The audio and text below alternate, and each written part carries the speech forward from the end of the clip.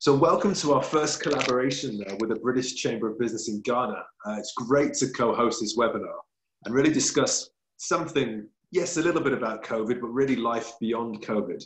For the next 90 minutes, we're going to explore uh, how we conduct business in Africa under lockdown and beyond, and really start going into some detail about the rare window of opportunity that the African Free Trade Area Agreement actually presents to us. So we've convened a panel of experts here from across the continent. And I think a great way to start would be to introduce ourselves, cover the agenda, and then jump into the topic.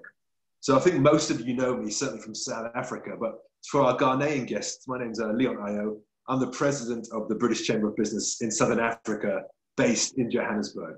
Uh, I'll introduce, let's my colleague Cecilia introduce herself, and then we'll go around the other panelists.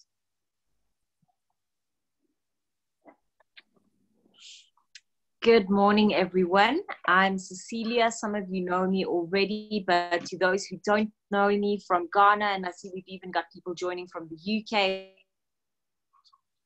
and from Kenya um, and other parts of the world too, which is great to see. Uh, my name is Cecilia. I'm the VP for International Networks and Membership for the British Chamber of Business in South Africa. Um, we're very happy to be collaborating with a fellow African chamber for the first time ever. Um, so interesting how how lockdown has actually made us um, reach out to each other more, and that's part of what we're going to be exploring today um, in light of the Africa Continental Free Trade Agreement as well. We've got some great panelists here today, which um, will allow everyone to introduce themselves, but I look forward to uh, engaging debate today. Thank you, Shall Cecilia. we go to Rutendo? Yeah.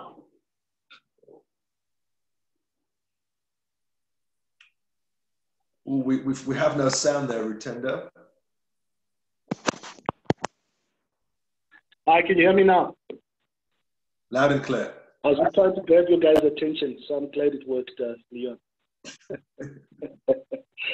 Good morning, everybody. My name is Rutendo. I'm an associate director at Deloitte, and um, uh, my primary role at Deloitte is business development, uh, working with multinationals with their strategy across Africa, as well as um, I'm part of the faculty for the Deloitte Alchemy School of Management.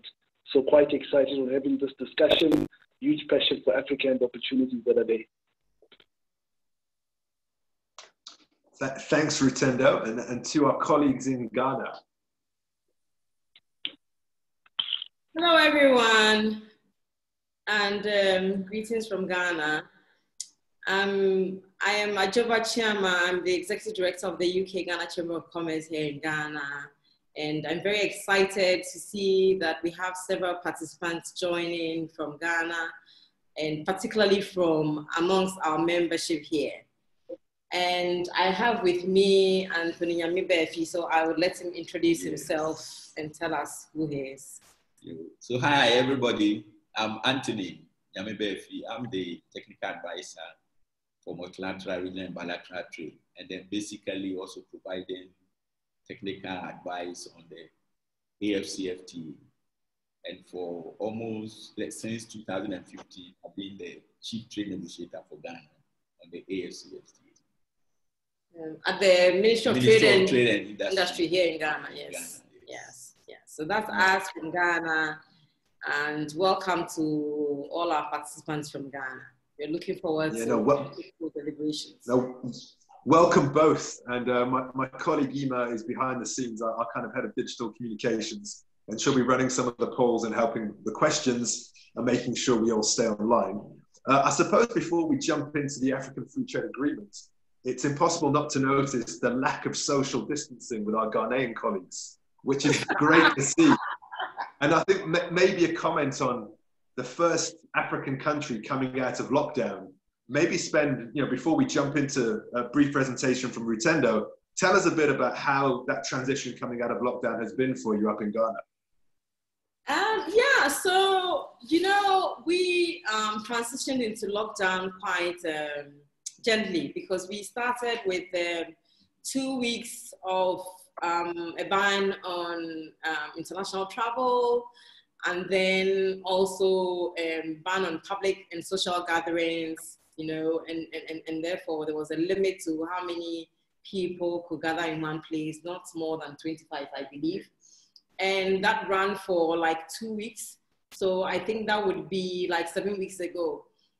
And then we had three weeks of partial lockdown in the two biggest cities here in Ghana. And that involved everybody staying at home except for some businesses that were exempt essential services and people were allowed to just step out for emergencies and for food. And I'm not sure how well that worked.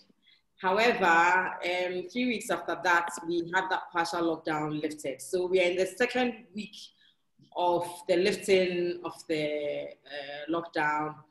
Um, but what we noticed is that not all businesses have reopened. Um, several businesses that closed their doors have chosen to remain closed till the end of April. And notices have been sent out to say that they'll be back in full operations from first, or let's say the first working day of May, because first May is a holiday here.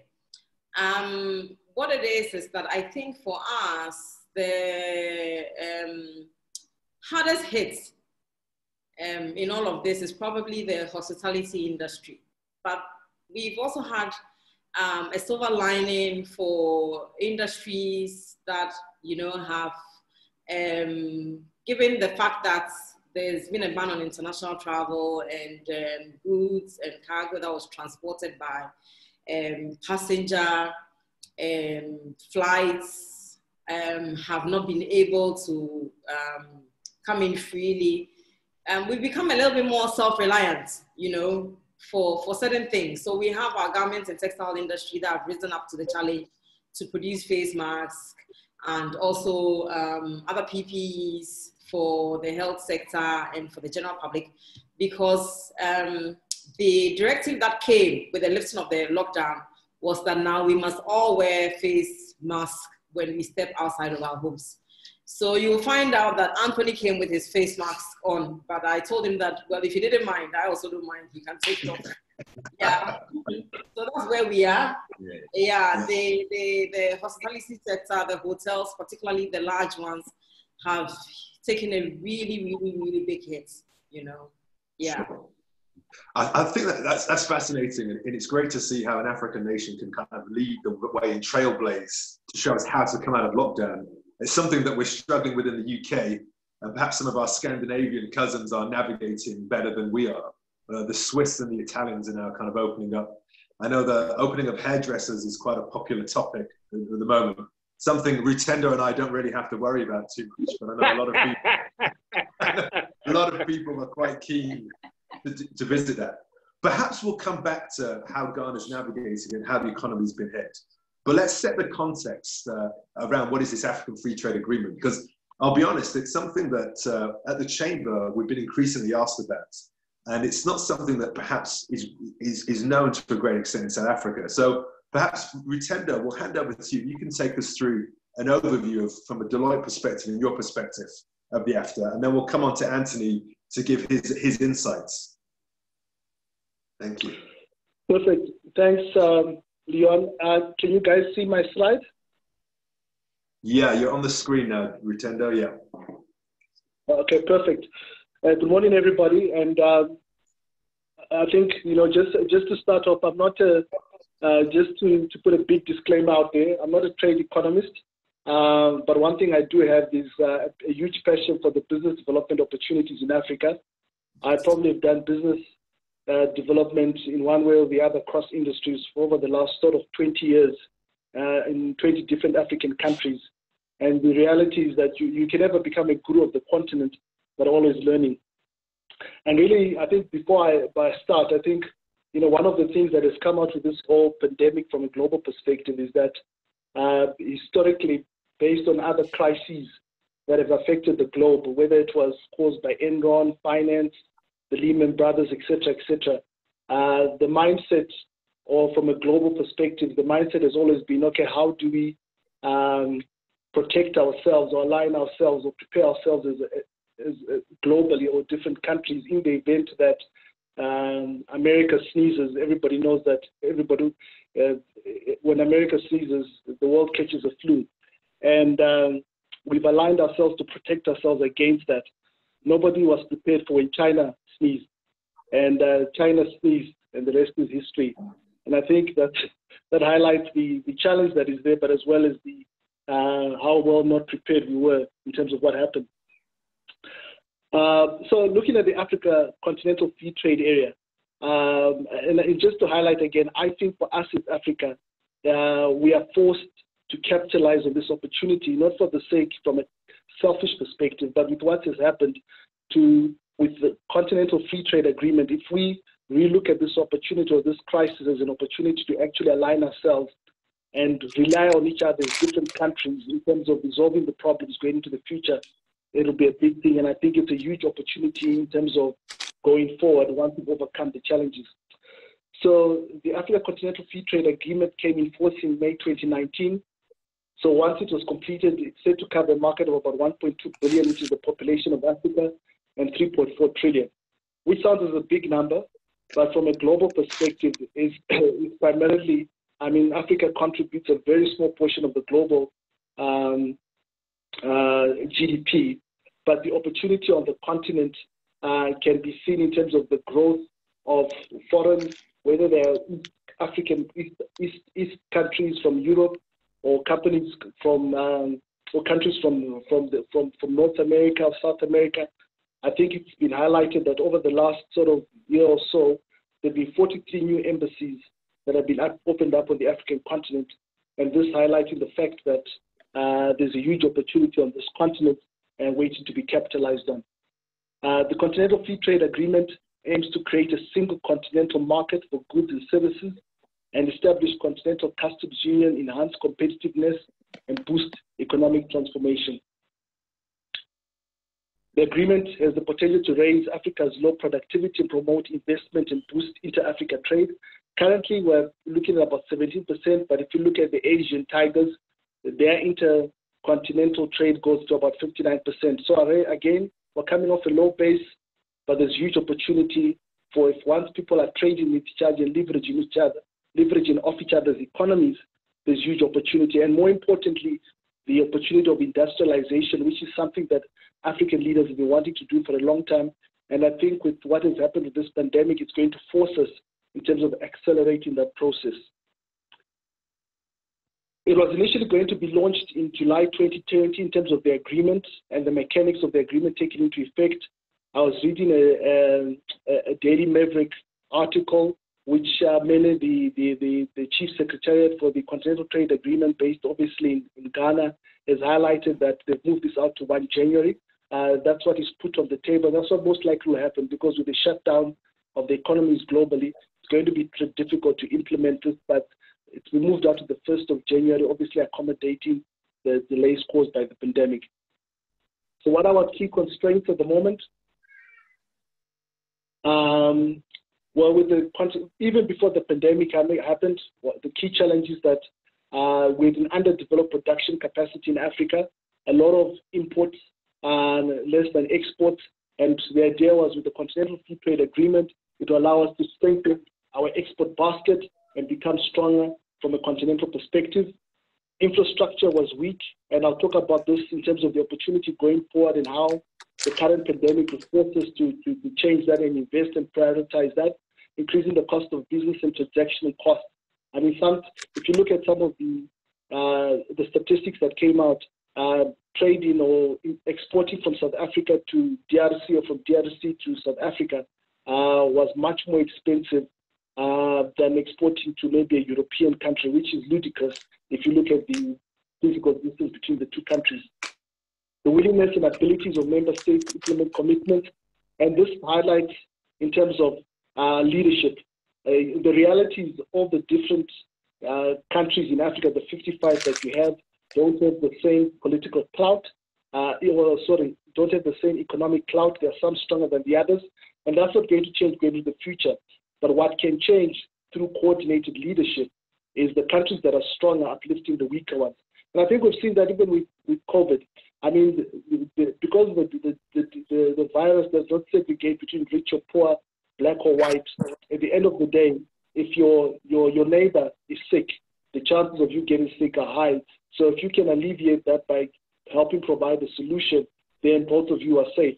And that's the reality with the growth through the Continental Free Trade Agreement is that we're going to have to leverage off each other's strengths as economies for the better of the globe, of the continent. The unequal uh, challenges with the integrated unequal partners, which is highlighted the weaker economies, uh, the fear that the, the, the stronger economies like South Africa, and Nigeria will cannibalize the weaker economies and uh, the weaker economies having that potential to cannibalize the, the larger economies. Policy constraints, uh, and I highlight the complexity that is there and the work that has to be done.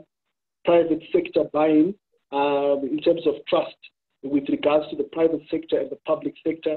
Realize that for this to work, there has to be collaboration and transparency, which is not an easy thing when you're looking at the number of countries and political um, associations on the continent. And then access to information for economic agents uh, is going to be key. Technology is going to play a key role in terms of moving this forward, in terms of communication, in terms of bringing alignment and harmonization of legislation, economic policies, trade policies across the continent. Conflict and security goes without saying. A lot of, uh, I think where Africa is at the moment, less conflict than many years ago, but still, you've got hotspots all over the continent which have to be bedded down if this is going to work seamlessly. So the next slide here that I've shown is a total matrix, but uh, at the end of the day, what I'm just highlighting is it summarizes the, uh, the complexity of the different trade agreements that are already existing in Africa, from north, east, west, and southern Africa. So on one side, if you can see my mouth, uh, you've got your economic community of West African states, and even in West Africa, there's a complexity of furrow of different economic trade agreements that are there. You come to Southern Africa, you've got the SADC, and uh, the SACU different trade agreements that are there. You go to Central Africa. And the reality of all this is that these all want to all be condensed into one. It's totally impossible in the short term. Uh, and the the challenge of the Continental Free Trade Agreement is bringing the harmonization uh, of most or key or, or, the key agreements in this region. I mean, if you look at North Africa, you've also got your um, your Africa Middle East uh, trade agreements that are there. So the reality is that this is not going to be simple, but at the end of the day, what is going to be achievable is achievable is going to say how do we harmonize and at the end of the day prioritize the areas of trade that are most beneficial and most in need of the people of the continent at this point in time. So before I go into where the opportunities are going forward, uh, I've, I've, I've, cloned a, a Ghanaian proverb here that says the left hand washes the right and the right washes the left. In other words, highlighting the fact that uh, for us to be successful as a continent, there's going to be a huge interdependency. And that's what COVID has highlighted. That for Africa or the Continental Free Trade Agreement to be successful, there's going to be interdependency amongst the continent and the different states and the people, and more so across the world. I mean, people say that the supply chain is going to be impacted significantly. But I think the world is too interconnected to live, uh, to continue going forward uh, to, as independent states. The reliance on each other globally is underestimated, and this is going to be a big thing uh, going into the future. So my last slide. Oh, sorry. Thanks, Rutendo. As you transition into your last slide, I've just sh- sharing a poll with the audience just to kind of test what the actual our knowledge is collectively around this free trade agreement. But thanks, Rutendo. Please, please go on. Okay, excellent. So going to the future, post-COVID, from an Africa trade perspective, what does it imply? Firstly, um, it's going to, I mean, the reality right now is that it's food and medicine. If you go to anybody on the street and you ask them what is the priority, food and medicine, uh, you can juxtapose in terms of which comes first. So the, the critical flow of, of, of, of trade with regards to um, the priority product around food and, and medicine is going to be critical. And uh, that's what is going to to be prioritized in terms of how do we get uh, to the ordinary man on the, on the street food and medicine in the quickest and most efficient way as possible. And something that even when the Continental Free Trade Agreement comes into play, we need to, to incorporate and the planning for that can start now. It allows us that, I mean, one of the concerns, I mean, if you went to all the different conferences and the planning sessions prior to COVID 19 around Africa trade, everybody was saying, have we planned enough? Have we prepared enough? Uh, the reality now, if it is moved out to the 1st of January, as uh, is what is proposed, then it allows us to, to plan more effectively and efficiently uh, so that when we do go live with the trade agreement or with the, with, with the trade uh, framework, uh, it, it, it allow us to be a bit more prepared to fight future pandemics. Uh, this, the same goes, um, you know, you, you measure more than once and you cut once. And I think it just allows us to be more efficient and more prepared in terms of from a future perspective. Public health crisis. I mean, um, well, one of the things that is highlighted with, the, with this current pandemic is the shortage that is there in terms of the health facilities in Africa, and that has always been a known fact. But what is also brought to the surface is that there is a dire need for an African, established African generic medicine industry. And from an industrialization perspective, huge opportunity here. Uh, I know countries like um, Ghana, for example, I mean, they've made huge in, uh, inroads with regards to industrialization. I know in the automotive sector, uh, major investments and decisions have been made there. But I think what you start seeing now is an investment and a prioritization in terms of uh, industrialization in the medicinal area and how we can actually position ourselves to look after the, the growing population in Africa that, uh, that can be subject to this disease. To add on to this, I mean, some of the key statistics that have come out is that Southern Sudan uh, had only two ventilators. Uh, in the Sahel region, which is about four or five countries, have six ventilators. There are about 10 African countries that do not have any ventilators at all. And if, if everybody globally is going to be focusing on building and manufacturing ventilators for themselves, uh, I think as Africa, the reality is to say, how can we establish ourselves to, to be able to manufacture locally, but also contribute to global solutions? Uh, infrastructure in terms of uh, it's not just a matter of manufacturing, but getting equipment, uh, getting services to the right people to the right places, whether it's healthcare, transport. That whole model is going to have to be relooked again and, and, and revamped. And that's one of the things that Continental Free Trade Agreement has to also prioritize and is prioritizing with regards to, to infrastructure development. Protectionist measures such as imposing trade restrictions, disrupting value chain and supply chain, I mean, a lot of, I've shown you the complexity of the current trade agreements that are there and the complexity how to navigate around that. The question is, you know, what we prioritize and what we do away with so that people can be serviced uh, and the economy and the continent can integrate, leverage of their strength uh, to, to be global players, not just from a continental perspective. The world, my last point, the World Trade Organization says as a worst case, there's going to be a 32% decline in world trade. Uh, and again, if Africa is able to look at this and say, okay, how can we reduce that deficit in world trade by industrialization and developing ourselves, and what have we learned from this pandemic? Again, all of these are challenges, but I think Africa, in terms of the population, the skill set, uh, the opportunities that are there, it allows ourselves to reboot and position ourselves like what Ghana has done and say, what are the learnings from this and take it forward. So uh, that's more or less it, Leon. I'm going to hand it back to you. Uh, but at the end of the day, huge opportunity for us going forward as a continent. Rutendo, thank you so much for that detailed overview and indeed some real points of uh, discussion there. Interestingly, looking at the audience, about 44% of us are not familiar with the free trade agreement. Just half of us have some familiarity, with 6% being very familiar. So I think that shows we've got a lot of learning to do. Just moving straight on from that, Rutendo, thanks again. Anthony, given your inside experience of putting this together, perhaps you could share your insights and observations. Yes, okay. So thank you. And uh, I actually appreciate uh, the presentation that was made by the gentleman from Deloitte. Apparently, um, when you want to comment about the date of starting, uh, there have been a proposal, especially from the first Secretary General who has just been appointed, that uh, the start date should be shifted to 1st January 2021.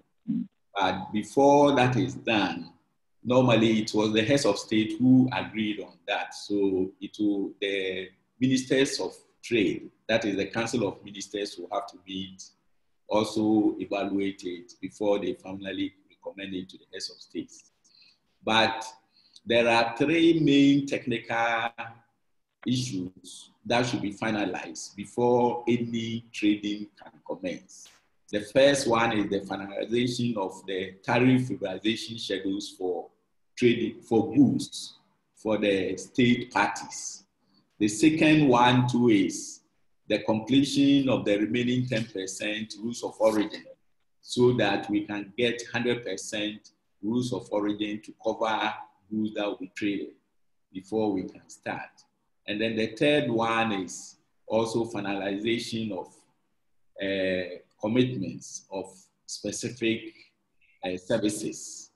So unfortunately, all the meetings that were scheduled uh, for them to be completed in March and April had to be postponed because of the COVID pandemic.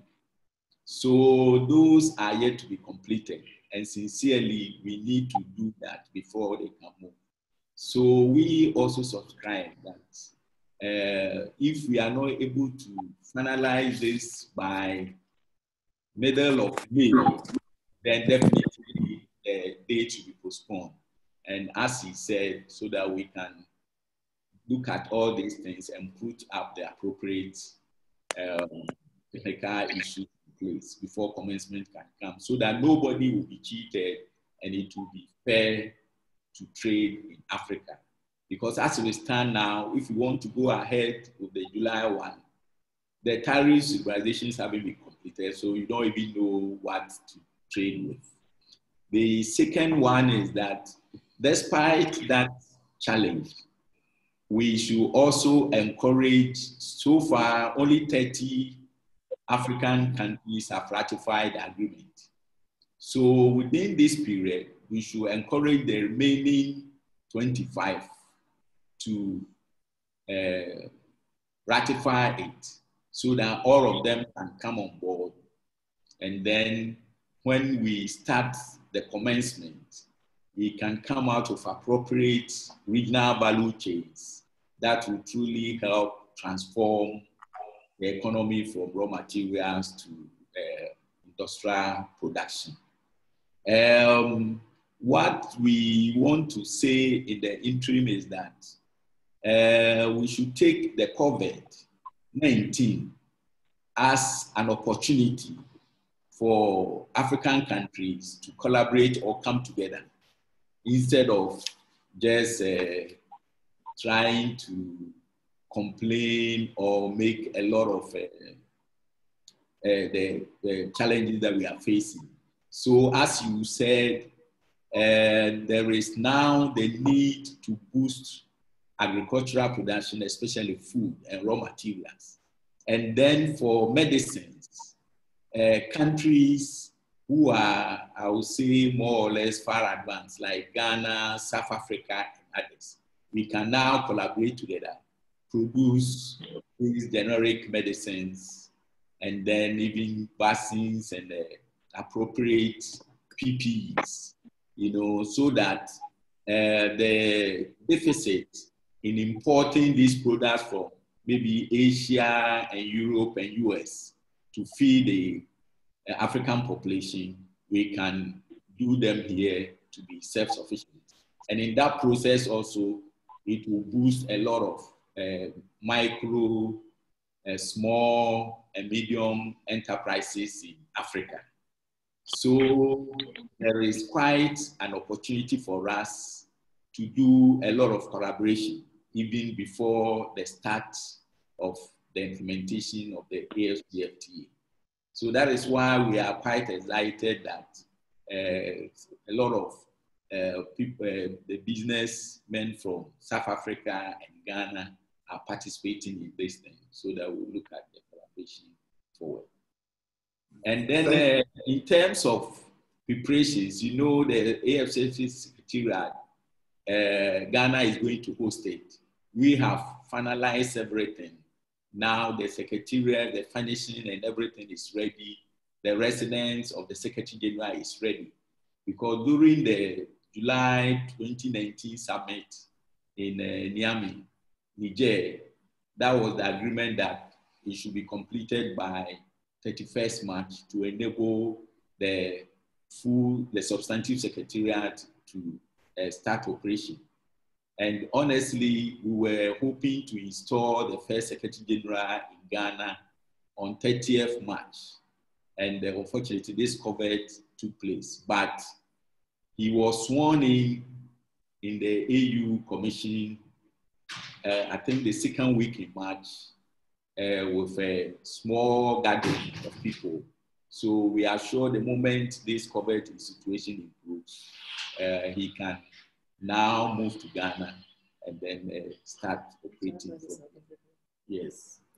And we want to con con congratulate the first Secretary General, who is a South African, His Excellency Wamkele Mene. And uh, Ghana is excited to work with him to ensure that he has a smooth leadership uh, to efficiently and effectively uh, look and see through the implementation of the agreement. And one thing is that we know him because he was also South Africa chief trade negotiator since 2015. And uh, we are all involved in the negotiating process. So he knows the A to Z about the technical issues, the background leading to most of the framework agreement. So we are sure with that background, he should be able to lead the process to fast track uh, the accelerating of the continental customs union. Thank you, Anthony, for those insights. And I think as, as I'm perhaps summarizing and going to hand on to Adjoba, perhaps we can run our second poll, just wondering around how we believe this free trade agreement can impact our businesses. You'll see that just come up. But from the two speakers that I've heard, from Anthony and uh, Rutendo, essentially the scale of this opportunity, I just think we need to kind of reflect on. We're talking 1.2 billion people, 54 countries, a collective GDP of $3.4 trillion, which would make us the largest trading, the eighth largest trading bloc in the world, just after India. So within that context, how, how are you seeing the opportunities for business in Ghana, Joba, and indeed coming out of COVID, but also into this African Free Trade Agreement era? Um, yeah, thank you, Leon. So um, before before COVID nineteen uh, pandemic, um, happened, um, we had already seen that we had a huge opportunity in the pharmaceuticals industry in Ghana because, um, like Anthony said, it's quite developed and um, we have a number of large scale manufacturers that were already exporting, particularly to Nigeria and other West African um, markets. And they were looking forward to expanding their reach even further we are also quite uh, young as a country in the oil and gas sector. Um, but however, um, we had anticipation that we would um, more added value um, production in that sector for also the African um, markets. And um, food processing or agro agro processing more like because there's food and then there's uh, processing for industrial raw materials so things like industrial starch and salt uh, areas where we had been developing commercial scale and so um, those, those are still areas where we think there's huge opportunity for Ghana. Um, in terms of the infrastructure developments, we are already on our way to um, completing um, the largest um, container handling port in Africa when the next phase is completed, which is our MPS Terminal 3 here in Tema um, in, in, in Accra or in um, Ghana. Um, another sector that over the past few years we've also been developing is the garment and textile industry. So many, many, many years ago, we used to grow cotton in commercial quantities and um, we were spinning our own cotton, but um, that sector of the economy declined and one of the things that uh, successive gov governments in this fourth republic in Ghana have been looking at is to revive that sector. So a number of private sector, large scale garment manufacturing companies came up, especially after um, AGOA uh, was introduced by the US government. And it's also one of the areas in which the UK government is looking to support um, Ghana. And um, like I mentioned in my earlier remarks, since the pandemic happened, um, we've seen our garment manufacturers step up to produce PPEs for the local markets. And um, as Anthony said, it's something that we are looking to export across Africa as well. So I would say that these sectors are the key ones that we are looking to leapfrog into um, the opportunity presented by the Africa Free Trade Area. And um, whilst we look at developing others, yeah. Thanks, Adjoba. And perhaps I can invite the audience to post some questions around specific questions pertaining to this African Free Trade Agreement. We can see there that uh, our views on have we applied this uh, to our to our businesses. So actually, it's an opportunity that's not being seized by us. Uh, I think particularly from a South African audience. And have we found any benefits? Uh, no, we haven't yet. So perhaps Rutendo, we could perhaps with a slightly more Southern African lens look at how we can seize these opportunities. But actually, just to kind of reinforce the timelines from what Anthony has said and yourself has said in terms of how this trade agreement is going to be implemented, implemented and what we see as the timelines. And while we're doing that, perhaps I can encourage the audience to post some questions on the Q&A. Uh, you look at your screen, there's a, there's a Q&A button. You just click on that, you can pose a question and we can feed that into the panelists. Yeah. Thanks, Leon. And uh, I think, I mean, looking from a Southern African perspective, I mean, if, if you look at it, um, I think SADC has quite, is quite a strong um, you know, as an economic body, it's been there for a, for a, set, for a period of time. And um, with SACU also, the are you guys able to hear me? Loud and clear. Yeah. Okay, excellent. So I think what what this has brought about, uh, Leon, is that uh, historically, I mean, if, if you look at it before, even, even if you look at the responses with regards to the impact of the free trade agreements uh, to business in general, I'm just referring to a poll, everybody's kind of said, look, it's not really impacted us. Uh, you know, the significance of it, we don't see it as much. But if you look at going forward in terms of what we need to do as an economy going forward, uh, or as a nation going forward, or as a region going forward, uh, in terms of developing skills, in terms of developing infrastructure, in terms of developing health systems, in terms of rebooting the economy, there is no way that can be done in, in isolation. Uh, we're going to have to relook at our supply chain mechanisms. We're going to have to look at the trading block and say, what are our strengths? What are our weaknesses? I know it goes, it's old school, by, but Michael Porter, in terms of um, the competitiveness of, of nations in the past, and says, you know, the future of nations is looking at their strengths and their abilities, and then say, how can we leverage off that? And that's the reality right now. You know, if you think about it, um, probably a month ago, let's two months ago, nobody would have thought one of the biggest car manufacturing companies in the world, like Ford, would invest in, put, in putting ventilators together. You've got companies that have been involved in uh, pharmaceutical, not even pharmaceuticals. Um, uh, I'm looking at the um, fragrance uh, or perfume industries, investing in terms of dispensary, dispensary or hand, hand sanitizers going into, the, into that kind of industry.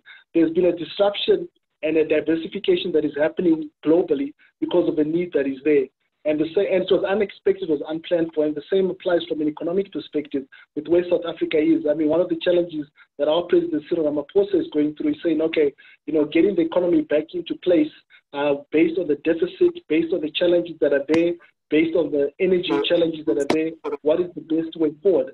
And the reality is that a, you have to think, there has to be a paradigm shift in the way we think, in the way we apply our resources, in the way we look at our supply chains with our countries that support us, and how we export and import. Uh, tourism, I think, has been highlighted, is going to be significantly impacted because nobody's going to want to fly anyway. The Americans are not wanting to come to Africa. The Africans are not going to have to go to America. So that's going to be disrupted. So we're going to have a lot of people being forced to deal with what they have. And uh, and the thing about Africa, you know, there's that saying is that you can choose your friends, but you can't choose your relatives. Uh, the same thing is in Africa, you've got these 55 countries that are on one country, on one piece of land. No matter how much you, we're going to have to deal with each other and say, guys, how can we make this work irrespective of borders? We are next to each other. There's people moving up and down borders. How are we going to make sure that we as a continent survive and grow uh, and overcome this? Uh, so it's going to force us to work together, apply resources uh, financially and non-financially to take things to the next level. So I think this is a positive thing as much as it's going to be painful for the continent and yeah. for the region. Thanks, Rutendo. Just before I hand over to Cecilia to field some of the questions, I think uh, one of my observations of navigating business in the continent is the extreme expense of traveling from South Africa to Ghana or to Morocco or even to Egypt. And often it's cheaper to go via Dubai or Qatar or Europe, which surely is something that we need to look at in terms of Pan African travel, because it's often easier to work with a European partner than it is a fellow African partner. But Cecilia, I can see we've got some questions coming in there. Uh, we do. We've got quite a few questions that came in now.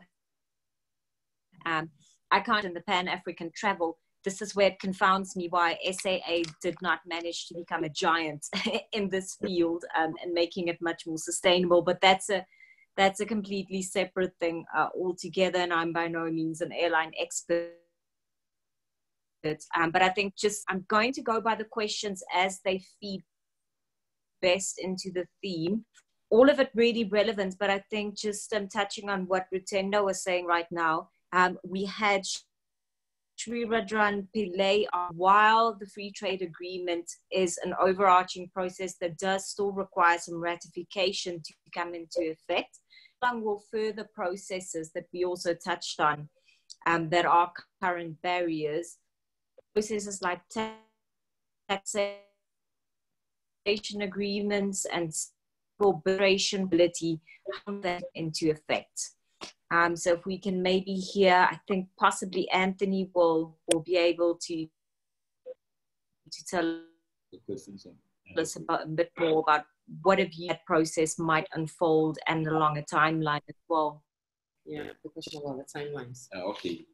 Yes, okay, thank you. Leon, just to let you know, my video is is just giving me problems, but my my connectivity through voice is working. So I'm just connecting, sorting out my video. My apologies, Anthony. Sorry to let you know. Thanks, Rutendo. Thanks. Yes. Okay. So for the for the timelines, I think um, normally if you start a free trade agreement like this, and uh, you want to take off, you have to ensure that there's a smooth takeoff. You know, so that everybody is taken on board, and then there's confidence in the whole process. You know, so I think that. Uh, in case it is pushed to January, we should be able to address all teaching technical issues, you know, as well as the practical implementation of the protocol on dispute settlement also. And so it will make things very smooth as soon as implementation commences. Then uh, some of the questions that was asked about the free movement of persons. You know, the Africa, the African Union has also come out with an agreement on the free movement of persons and establishment. That was uh, agreed, adopted in the January 2018. And uh, incidentally, a lot of uh, the member states are signing on. So it is expected that this agreement on free movement of persons and establishment will complement the AFCFTA agreement, and then to ensure that there is movement of skilled labor among others. But also to ensure that there is free movement of skilled labor. Uh, the protocol on trading services, the mode three, which is commercial presence, you know, are also key. And then we expect that when the implementation commences, uh, it will be easy for companies to set up branches in other places.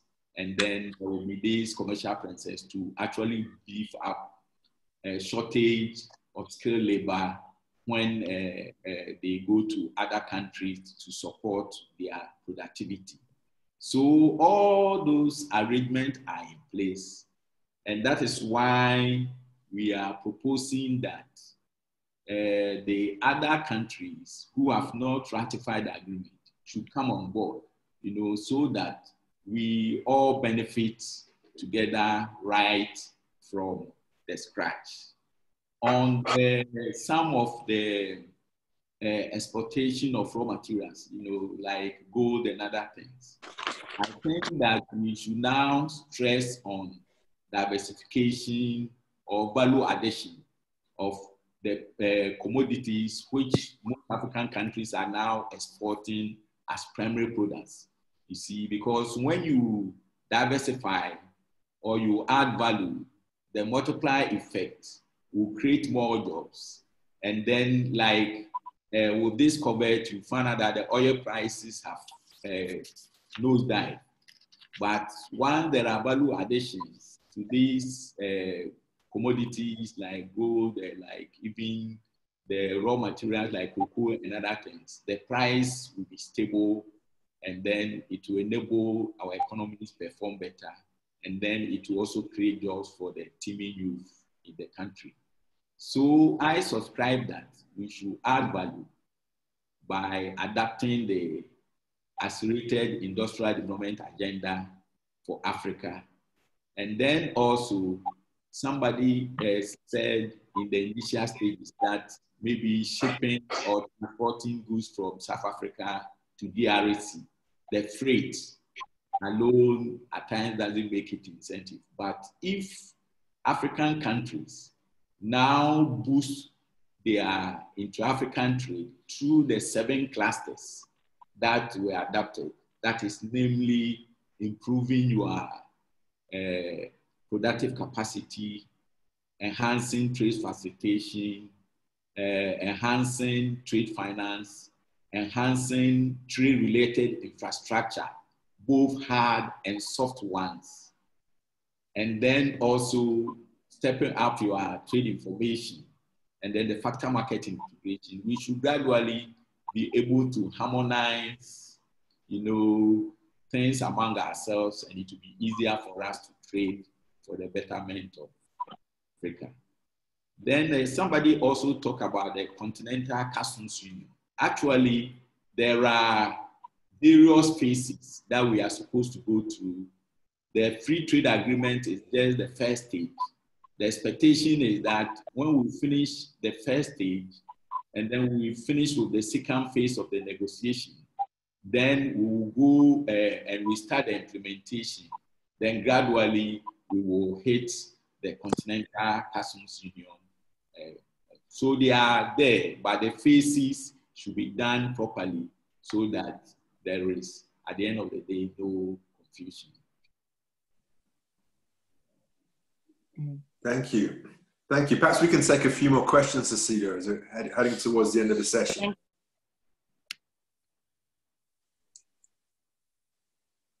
Yes. Um, um, so also, um, we've had new questions pop up, particularly about, um, you know, it's not just trade of goods, but also this is skills and people as well. So we've had a question um, about how will this trade agreement affect the movement of people across borders.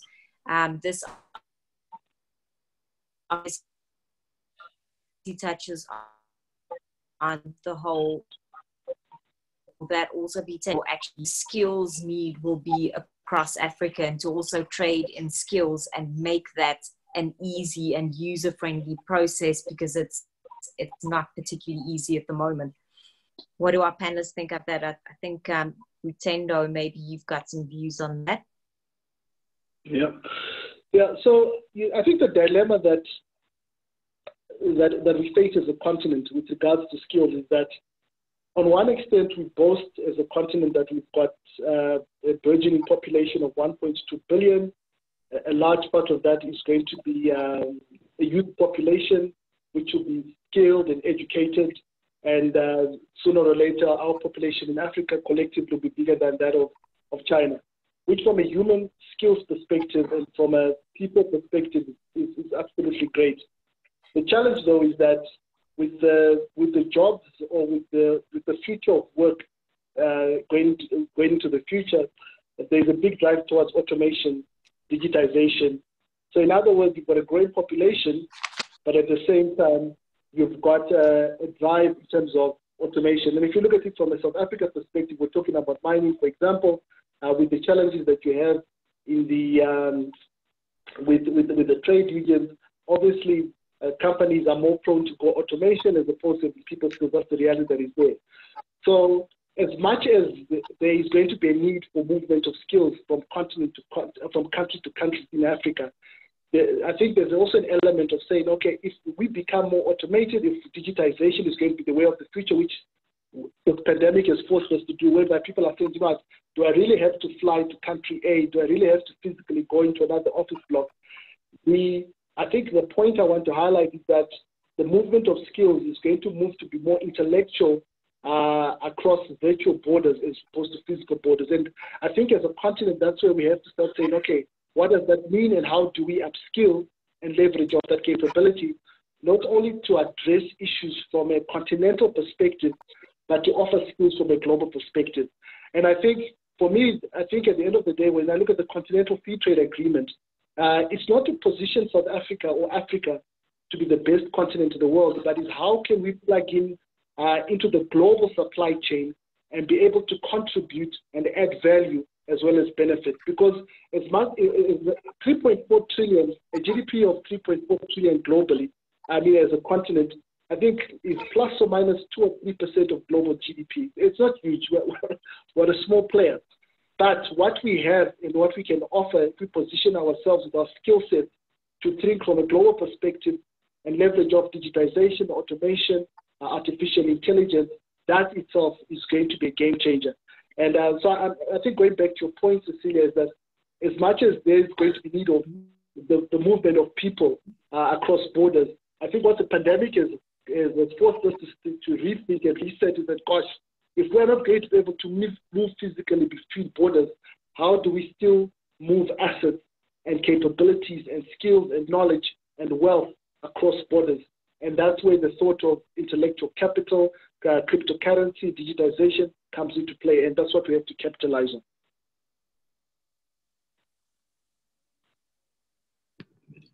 Yeah. Hello. And okay. I've been touching on that too. Um, William Callahan. Yeah. Yes. Yeah, yeah, okay. And please go ahead if you'd like to add something. Yeah, yeah, yeah. I just wanted to talk about this uh, uh, movement of skilled labor and other things. If you look at the agreement, normally for free trade agreements, uh, the concentration should have only be on goods first, followed by others. But this one, we uh, Africans uh, negotiators realized that there was a crucial need to add services to it. You know, if we want to achieve this thing. So that is why we adapted the agreement, the protocol on trading goods and then protocol on trading services. And even in the protocol on trading services, uh, we have identified five priority services areas that can help boost this intra-African trade. And the five priority services areas are transportation, tourism, health, finance, and then business services. You see, so these things, apart from the request and offer that has already been done to the WTO for members who are WTO, uh, we are also going to talk about the regulatory framework so that it will smoothing things and it will make movement of skilled labor to African continent to boost intra-African trade and other things easier. So already these things have been taken in play into shape, and then we expect that it will enable us achieve our goal as soon as uh, possible. Then the other thing we have to also note is that um, we have to collaborate, you know, a lot in terms of investment, although the protocol on investment is going to be the second phase. But we have to collaborate on investment to ensure that as much as possible, there is a joint venture or foreign direct investment collaboration among investors in Africa, you know, before maybe others from the continent can join in to enable us boost productivity in Africa. You know, and I'm sure once we do all these things, then at the end of the day, uh, whatever benefits that comes from the continental free trade area will uh, duly be shared among the member states. You know, that is it, uh, my takeaway. Can I just add on to that, uh, Cecilia? Uh, you know, with regards to foreign direct investment, I think I was reading uh, an article uh, which highlighted that in the last year or two years, I think there have been about 43 new embassies that have been opened up in Africa by foreign countries. Um, I think the British, uh, the UK, I think probably about 23 embassies all over Africa, not just focused obviously on political, but as well as uh, uh, Department of International Trade. And I think that highlights something quite key that even with the challenges in Africa, uh, there's opportunity that has got a global impact um, uh, for this continent. And I think from an Africa Free Trade Agreement perspective is that we must realize that once we position ourselves to be a, a strong trading bloc, the, the impact that we can have from a global perspective is massive if we're coordinated and positioned right. So for me, it creates and it highlights the opportunity. And I gave an example of um, um, uh, the automotive sector. I know in Ghana that that has taken leaps and bounds. Obviously, the question is, you know, with, with the future of mobility, how can that come into play? And I know there are a lot of initiatives happening around that. But again, opportunity and opportunity, and we're positioned for that. And everybody else knows it. We just have to uh, to ride on that wave as a continent. Yeah. Thanks. Thank you for that, um, Rutendo. Touch on something, Anthony, also about the five priorities set out um, for the Africa Trade Agreement. Um, we've had some questions around specifically too. William Callahan has asked also, this kind of feeds into it, how do we ensure the quality of goods and services and who's going to be monitoring that? And how are we going to ensure fairness and equity? And I'm going to, with that, uh, one of the priority sectors was also France. We had the says plan shipping line for intra-African cargo movements. Um, so a few practicalities is one of the priority uh, sectors. Um, Amanda made an interesting comment there saying um, that there's Africa sits on one of the biggest biodiversities. How can we capitalize on that, and especially your trade partnership and skills like the UK and South Africa? We should be doing a lot more of these products that come into the health sector ourselves. There's a huge opportunity there. So I think just to start um, looking at transport, what plans are in line for possible shipping lines, plans are in place to actually increase our productivity, specifically in the health sector, and who's going to be monitoring the quality of and goods once it actually gets flowing. Adjoba, and um, I think we're going to have a few opinions um, and inputs around this. Yeah, so Anthony has quite a few yeah, uh, some comments to responses make, to all of that. that mm. Yes, for the uh, quality to ensure uh, good quality for products that will be under the AFCFTA. Uh, we have uh, two main annexes under the protocol on trading goods. And then the first one is the annex on technical barriers to trade, you know, which are going to deal with standards and then the need for the various standard organizations or authorities in the member states to collaborate, you know, so that at the end of the day, uh, goods that are traded under this AFCFTA at least meet the minimum international standards, you know, and then uh, member states also don't unnecessarily use it as an impediment to block trade uh, from entering their country. Then there is also annex on uh, sanitary and phytosanitary measures, SPS, and they are mainly to deal with agri products, you know, that will be traded among ourselves. And uh, to be honest with you, they also realize that uh, reduce, reduction of tariffs alone is not enough to boost intra-African trade because others can act uh, under the non-tariff, various non-tariff barriers. And then they will even be more expensive than the tariffs that have been liberalized. So there is also annex on non-tariff barriers. And the member states have agreed that they will also collaborate and eliminate all the non-tariff barriers that are associated with uh, importation and exportations of goods. And uh, even in the July summit last year, uh, they launched five instruments, you know, to fast track or to ensure effective implementation of this agreement. And one of them was online mon uh, monitoring mechanism for non-tariff barriers so that if uh, somebody is exporting his product to another country, whether by land or by sea or by air, and there are some impediments on their way, they can easily uh, lodge complaint online.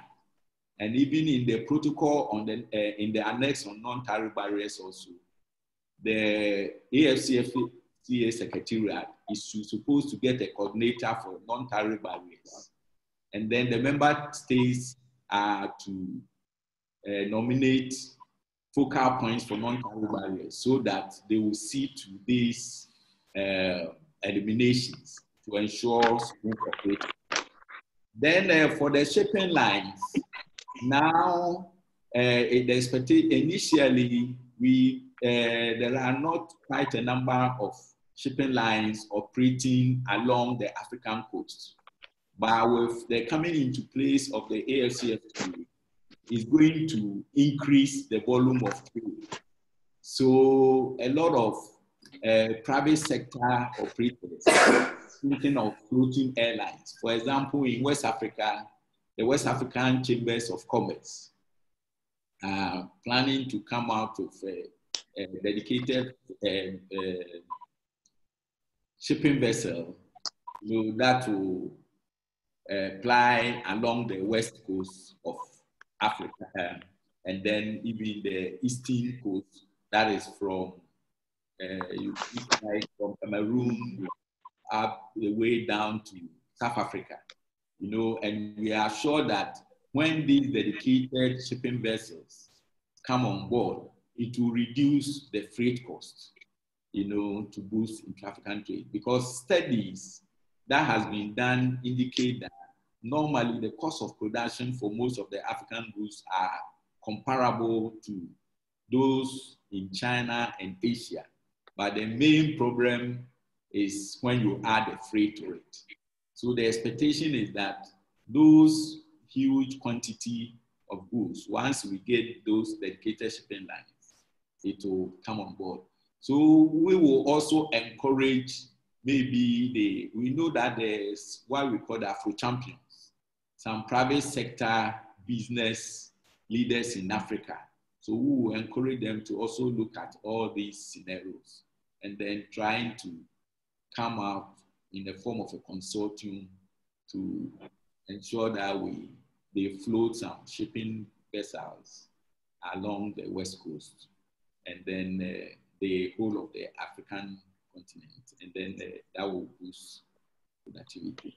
So that we don't rely so much on the transnational corporations like Maersk Line and others, who their main interest is uh, imports and exports from Europe, from uh, Asia to Africa.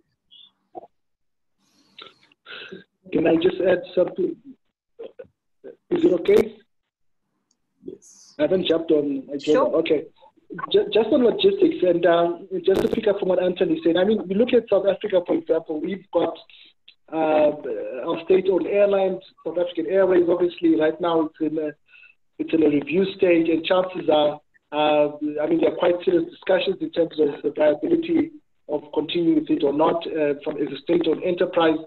Now, bear in mind that South Africa uh, is probably the second biggest economy on the African continent. Now, let's assume, worst case, I'm not a prophet of doom, let's assume that South African Airlines is literally grounded and cannot operate. Then, under the current global economic situation, I don't see the US Airlines or the Emirates Airlines, I mean, if the pandemic continues as it is, coming us to bail us out. But what is your problem? Your strongest uh, airline that's on the continent at the moment is Ethiopia. Again, not probably the strongest economy, but you've got a, a model that works. And it makes just logical sense, assuming that worst comes to worst, that South Africa reaches out to Ethiopia and says, guys, we've got a situation. How can we partner up in terms of resolving? I'm just giving you an example in terms of how it's inevitable that uh, under the current situation, for African countries to actually leverage off each other's strengths and weaknesses with regards uh, to finding a solution going forward, which helps the economies, which helps the different countries. Just a case in point I wanted to, to highlight. Back to you, Cecilia. Thanks, Rutendo. Um, some interesting. Um, I'm getting a lot of questions also about, we hear a lot about opportunity and the tagline practically what will people have to do? Not just what would be nice. What is a nice aim? How's it practically going to work? Um, but i think before i get to that people really wanting to know where there might be which is incredibly strong in Ghana. I believe Ghana's overtaken South African gold manufacturing at the moment people want to know whether that's going to become a bigger factor um, under the Africa Free Trade Agreement.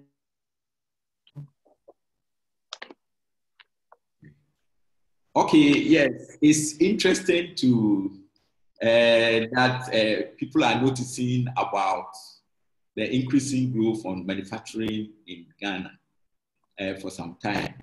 And it is basically because uh, from January 2017, uh, Ghana uh, foresaw the potentials, you know, in under the AFCFTA when the agreement is concluded. So the Ministry of Trade, the government, uh, under the Ministry of Trade, came out of its 10-point industrial transformation agenda. You know, and in this agenda, some of the main features included improving the business environment. Then we have what we call one district, one factory uh, concept. You know, where each uh, district was expected to identify its raw material potential and then come out of some encourage private sector operators to set up factories there to add value to those products. Then in the 10 point agenda too, we have this one region, one industrial park. Then uh, we have some strategic anchor industries that we expected to promote, including the pharmaceuticals, the textiles and garments, the oil palm, the cassava processing, the salt uh, production, um, aluminium, and uh, and a whole lot of them, you know. So this, fortunately, has started yielding fruits. And uh, if you look at Ghana, for example, statistics for intra-African trade, uh, we found out that most of our exports to the Africa market are uh, primary industrial products. So, point industrial uh, transformation agenda is what is making the industry grow. And then they are also part of uh, ensuring uh, that the seven clusters under boosting intra-African trade operate. And we are even earmarking that these factories that are coming up, their products are not only going to be for domestic consumption, but some of them we are going to export them under the intra-African trade. So that is the potential. And we think that uh, foreign uh, investors from South Africa with their experience can collaborate with us and then uh, we can uh, still beef, uh, beef up our industrial output to feed the uh, African market so that all of us will benefit from it. Technology and then gold mining. Yes, for the technology and the gold mining, we realize that uh, when you look at the Africa, it's mainly maybe South Africa that has the skills and then the equipment. So they can also help us to maybe add value to our uh, mineral products. But uh, we are also aware for this artificial intelligence and other things that when we finish the second phase of the negotiation for the protocol on investment, protocol on intellectual property rights, and competition policy, it will encourage people to uh, get more foreign direct investors to uh, beef, beef up this artificial intelligence and what have you into the process.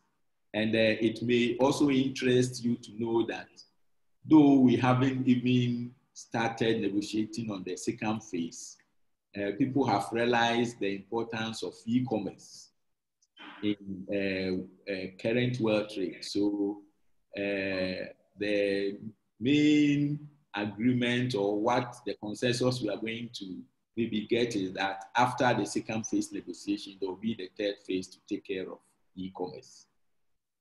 Yeah, so I, I need to also add because I noticed that Reggie from Ghana asked the question about AI and the opportunities it presents. That um, I believe that um, Google actually set up an AI center in Ghana a few years ago, must have been like two years ago. Yeah, two years ago. So um, in terms of um, the fundamentals, I think we are poised, Yeah. you know, because we are developing that kind of um, capacity. It may not be on a large scale yet, but at least it's the start. And so it also presents opportunity because it doesn't serve just Ghana, you know, at the moment. And, and, and, so it will definitely grow, yes there is opportunity. And I think that there was a question about um, the fact that Ghana has overtaken South Africa um, in gold mining output. Yeah, yeah, yeah. Yeah, you know, and so I think that question was more to South Africa about how Yeah. South Africa is going to address that. So perhaps we'll pass that on to uh, Rutendo. Thank, thank you for dropping that. I think I, I missed it. Just, can you just repeat the question? Uh, Is it about mining in South Africa or is it artificial Yeah. intelligence? Perhaps I'll jump in, Rutendo, and you can comment. I think, uh, you know, South Africa's mining industry has, you know, it was one of our most important economic sectors, but it's been in decline for some time, largely because of labor disputes and a resistance to mechanization and a resistance to the embracing of new technology. And that's where Ghana has surged ahead, particularly from a gold perspective. If we take AngloGold Ashanti, for example, they're now listed on the London Stock Exchange recently, having decided that South Africa is no longer sufficiently competitive. But you know, they are a South African institution that is now thriving, you know, outside of South Africa. But what do you see more broadly for our mining sector here, Rutendo? Has COVID perhaps made unions more open to negotiations and being more competitive? Look, uh, you know, you know the the challenge with any crisis is that you know your mindset when you're in the middle of the crisis uh, is very accommodating, and uh, and I'm not trying to be pessimistic. I think in South Africa, you know, every you know everybody right now their focus is food and health and uh, even if you hear the, your traditional trade unions, even your politics, everybody's singing kumbaya, uh, everybody's sitting around the table, everybody's cooperating, is coordinating. The reality is once the storm weathers and reality goes back into check, will that uh, um, semblance of peace continue? And I think the challenge that is there is that, going back to your point, Leon, is that, um, you know, when, when, when, the dust is settled, uh, the, the reality from a South African perspective is that you still got an economic imbalance. You still got uh, a, back, a gap between rich and poor. And that will feed into the concerns that the trade unions have been, have been highlighting in the past. Uh, I, am hoping, and I think we're all hoping that because of the, the shock that the economy has been given, even from a socio political perspective, it will allow all stakeholders, both the government, the private sector, the trade unions, to be able to sit around and say, guys, uh, we've had a sort of a reboot of our economy. What is the best way forward? Uh, how do we structure and implement the structural reforms? I think that's what Tito Mboweni is obviously spearheading now, saying that we've got an opportunity now to make, not only to make, but to implement the tough decisions we've had to make before as, as an economy, economy taking the political leadership. So that's what my hope is, and I'm hoping that um, COVID uh, is going to be the, the wake up call uh, that will force us to do that. Uh, the, the, question is that uh, how you know how, how how much of an appetite have we got in South Africa uh, in, in, terms of doing this? And I think the smaller economies in Africa it's easier. Uh, the, the big economy is going to be more of a challenge. But if we're able to use this shock in the most positive sense, I think we're positioned, uh, you know, to, to, to be able to move forward in, in, a, in, a, in a, healthy sense. And uh, in terms of diversification of the economy, as my colleagues in Ghana have highlighted, obviously there's been a huge dependency in terms of the mining sector. Um, I think now, in terms of what has happened, the question is you know, how do we diversify and, and leverage off that uh, and go forward. Um, and so it will be interesting to see to see that play out. But my hope is that the, the, the economy is shocked enough uh, to be able to move in the right direction and put down differences of the past and then be positive. Uh, that's my hope. Yeah, but if wishes were horses, been plan. I'd, I'd, echo those views, Rutendo. You know, and I suppose we are immigrants to South Africa. You're, I'm an Englishman, you're a Zimbabwean, and, and we come to this country and aren't always made to feel welcome in terms of how we contribute to the economy. So for me, just kind of kind of coalescing all the discussion points we've had and started to move on towards concluding before final questions are the African Free Trade Agreement is really an opportunity to harness all the talent we have on the continent, including, should we say, immigrant sons like myself with tenuous African links that have come back and decided to grow businesses here. And if we can keep attracting investment and offering, you know, Africa as a, as a big market opportunity, we, we were talking this week as a chamber with some of our members in London who have three or four businesses that they really want to come and invest in South Africa, start employing South African people and then expanding into the continent. I think the African Free Trade Agreement is a real opportunity to make this easier for FDI, foreign direct investment coming into the country. Interestingly, uh, you'll see the final, the final uh, poll come up now in terms of what, what do we feel in terms of confidence around the free trade agreement? Do we think we're going to seize all the opportunities? And, and as we're answering that, perhaps I can put out a final request for questions to everybody on board. And if you'll forgive me, our colleagues in Ghana, just something with a slightly South African lens. Uh, to, Thursday, we're going to be consulted by the president uh, for Business for South Africa, who's really asking us what kind of structural reform we would like to see as business in South Africa. So we've seen this massive 500 billion rand COVID intervention fund. And as part of BUSA and Business for South Africa, we're involved in helping fundraise for the Solidarity Fund. But alongside this fundraising, we need critical structural reform. And to the point of our mining industry, how do we make it competitive?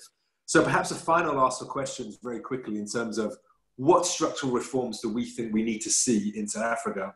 And we can perhaps feed that back through our channel to the president and indeed to BUSA. Uh, and, and, while that's being uh, considered, were there any other questions that have emerged to see throughout the last 10, 15 minutes? Yes,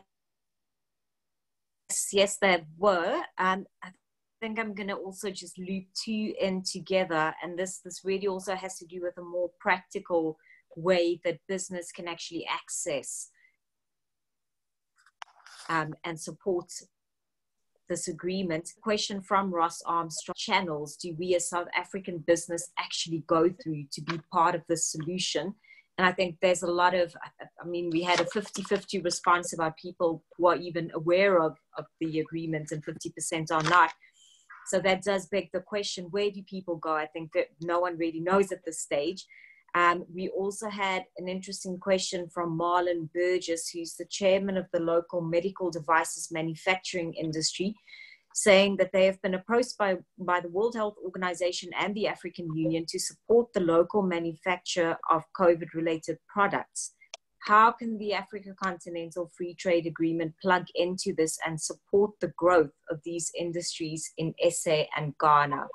I think this all just points again towards the practical implications. Where do business people go if they want to plug in?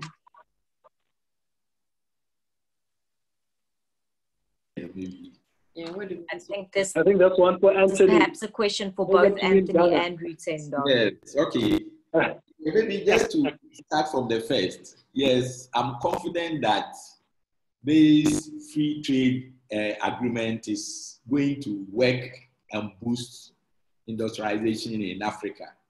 And uh, it's because when we were negotiating the agreement, we took into consideration all the potential challenges that have prevented other free trade areas from working.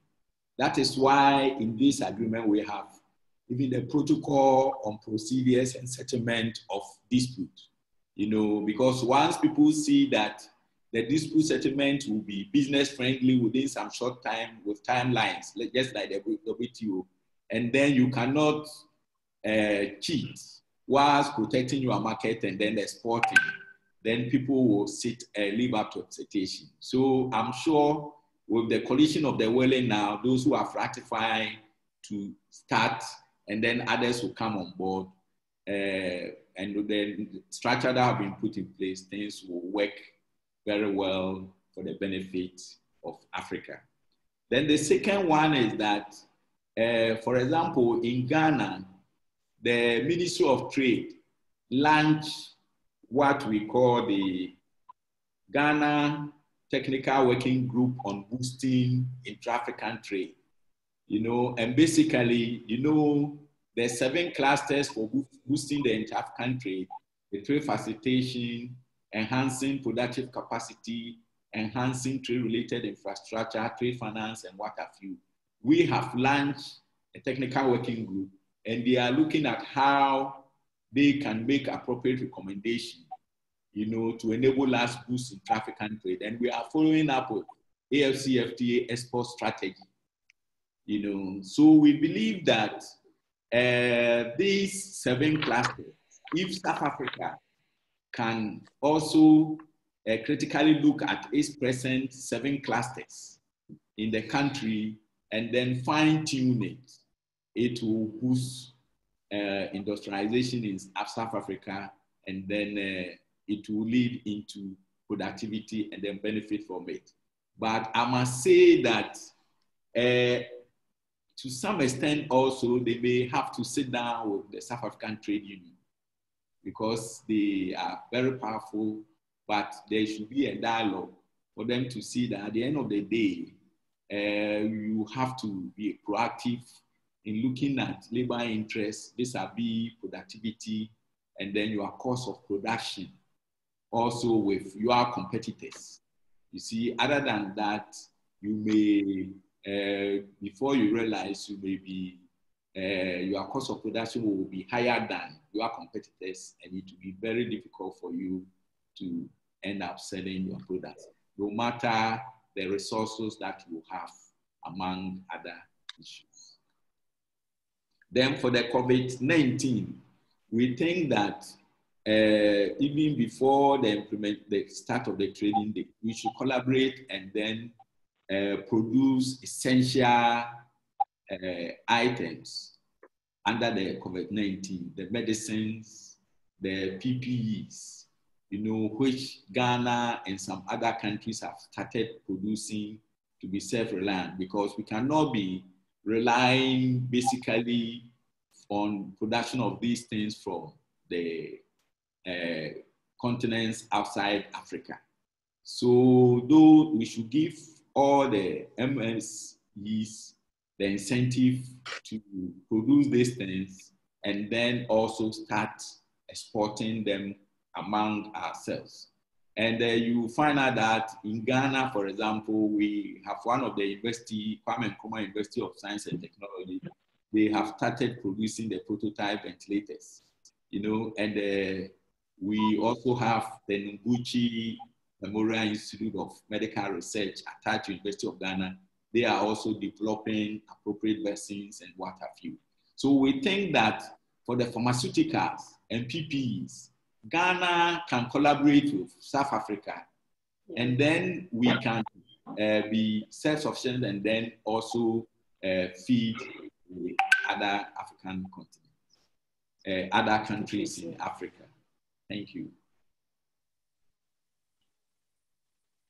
Yeah, and I think for me, I'm also looking at your your, your time, um, yeah. Cecilia, is that I think you know, you know, from an economic perspective, from a structural reform perspective, you know, what South Africa has to do, uh, and I'm looking from a South Africa perspective or any of the other countries, but primarily from a South Africa perspective, with regards to state-owned enterprises, with regards to, to incentives uh, for small to medium enterprises that government has to put in place, uh, but not in isolation of the private sector. Uh, if, if these are, are, implemented, I think what has to be done, uh, everybody knows it's in black and white. It's, it's the issue of implementing them and um, uh, and getting all the different stakeholders realizing it's a bit of give and take. The private sector will have to will have to give and take. The trade unions will have to give and take. Government will have to give and take. And once those are implemented, you definitely success going forward.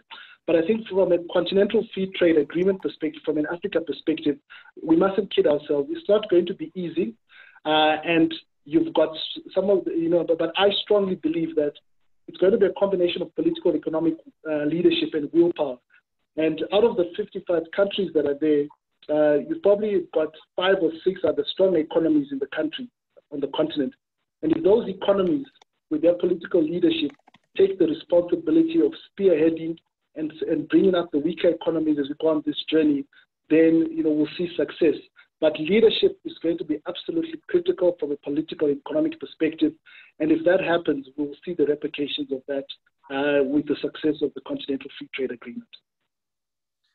Thank, thank you. Uh, perhaps we can share the, results from the last poll as, as, we just enter our concluding comments. Uh, so, do we have confidence? Well, that's, that's very encouraging to see. 69% of us are confident, 4% not so, but 31% are on the fence.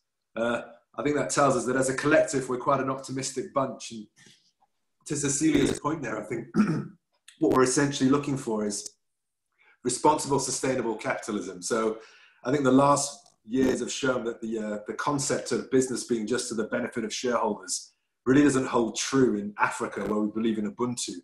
Uh, and you know, in terms of the Ghanaian proverb that Rutendo shared with us earlier, I think we're, we're in this together. And business really has to serve the society in which it operates. Otherwise, we're just going to contribute to higher walls, higher fences, and declining markets and increased poverty. And COVID has shown that you know, these things largely transcend race, social class, and, uh, and, and, economic status. We're all impacted and we're all in this together. So, so for, for, me, I would just really like to thank our sister chamber up in Ghana.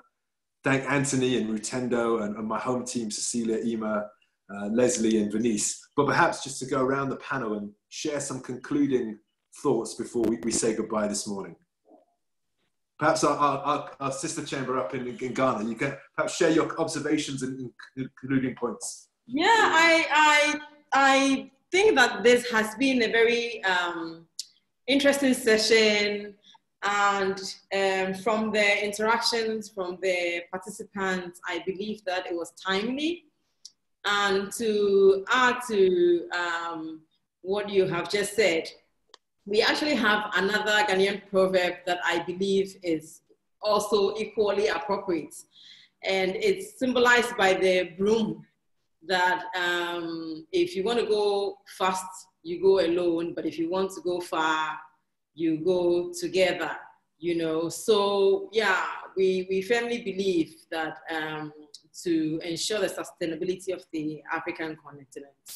And we should collaborate more and do business with, with each other.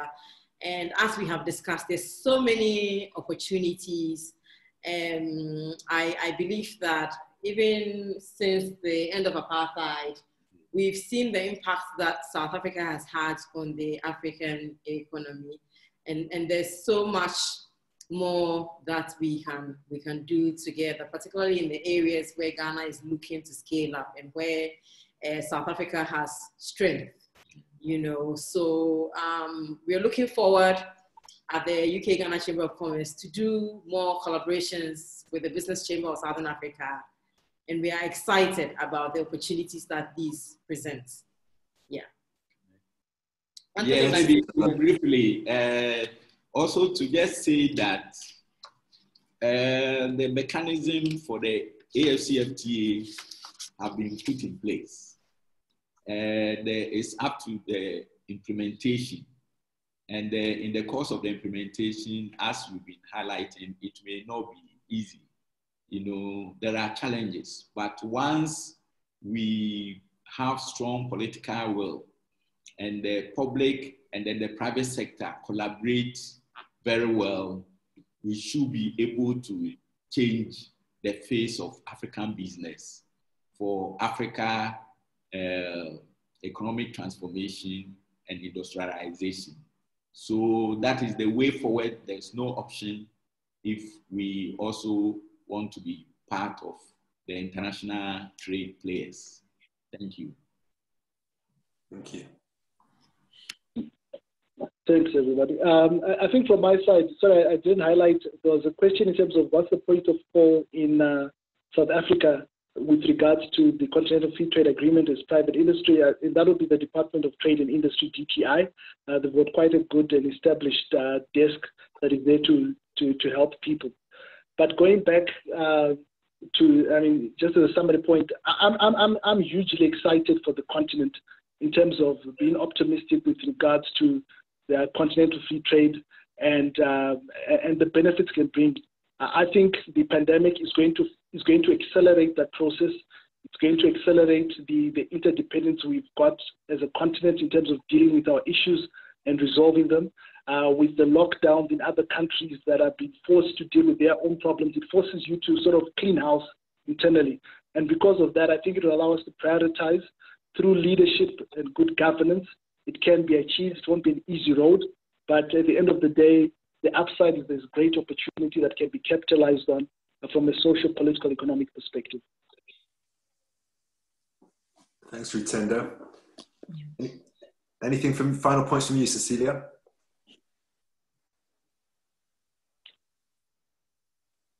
Um, apologies to some of our attendees if we did not get to our question live, but you are welcome to get in contact with us and maybe send us any questions through, or similarly, if you would like to get in contact with one, some of your fellow attendees, um, please just get in touch with us and we can try and accommodate that. I'm encouraged that um, after today, we had 50% of people roughly who weren't really aware of free trade agreements. And I can definitely admit at the beginning of this year, neither was I. But towards the end, we saw that almost 70% had confidence in the agreement having a good effect. So I think just the fact that we're talking about it and collaborating in this way is already a great thing. A lot of questions remain unanswered about practically how business tap into this. But I think Anthony's also um, helped to just spell some of the mysticism and to, to bring it, to bring to our attention that there are still some phases to go through. And we're going to get through it. And I think as this happens, um, more apparent, and we will know practically where to go and how to enact this. And hopefully, I think both our chambers can help each other here with um, being conduits for this information um, as a someone sender who's sitting at the forefront of that. So that's encouraging. Um, I'm looking up the statistics of South African imports and exports, and, and shamefully, um, African exports and imports are currently about 20% of South African imports. Only about 12% of that comes from Africa.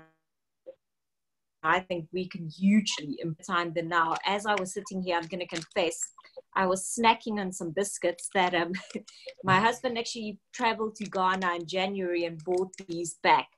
Now, this is a Turkish product that he bought in Ghana and then brought home to South Africa. Now, I wonder if Turkey can get a product up there, surely we can do better. We can do much better. So, um, I am confident that they're going to get there, but it's it's going to take some rolling up of sleeves and all of the positive and throwing our willpower behind it. Thank you. Well, thank you to, to all our members in Ghana and in South Africa for joining us. Uh, please stay tuned for upcoming webinars. We've got quite an interesting series which we'll be communicating. Uh, thanks to Jennifer up in Ghana behind the scenes, and to EMA Mission Control, and to Leslie and Venice for helping set this up. And uh, thanks again to our panelists, Rutendo, Anthony, Joba, Cecilia, for your insights and control. Wish everybody a very good day. Stay safe. We look forward to communicating after our interaction with Busa tomorrow around how we start coming out of lockdown. And Ghana, keep, keep blazing the trail and showing us the way forward.